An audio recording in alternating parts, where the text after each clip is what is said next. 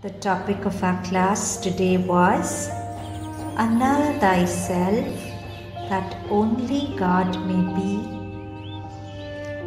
We started with a metaphor given to us by Raman Maharishi, where he said that when we dig a well, we are removing the earth and we say we've created a well, but have we really created anything? The empty space was always there. All we've done is we've removed the earth.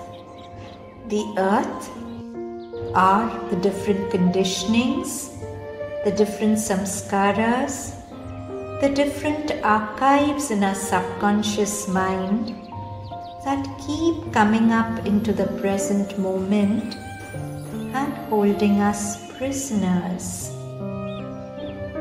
And if we remove those samskaras, those archives, the space which is actually the well, our God self remains and groundwater fills it up so that we are quenched.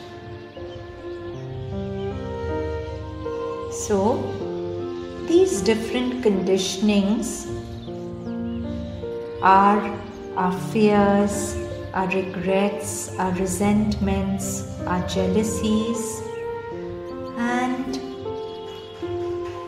when they arise, with every conditioning, it's not just our mind that darkens, but since mind and body are one unit, even our body moves towards ill health. In fact, scientists have found that there are neuropeptides for every emotion we feel. And these neuropeptides dock onto receptor sites in our cells and change the biochemistry of the cell. Now, these receptor sites are also the sites through which we receive our amino acids, glucose, good stuff into the cells if they are blocked by negative emotional molecules, the neuropeptides, no matter how healthy we eat, the health we want will be beyond our access.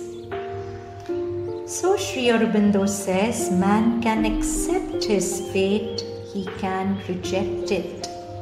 Let's understand this with a very concrete example.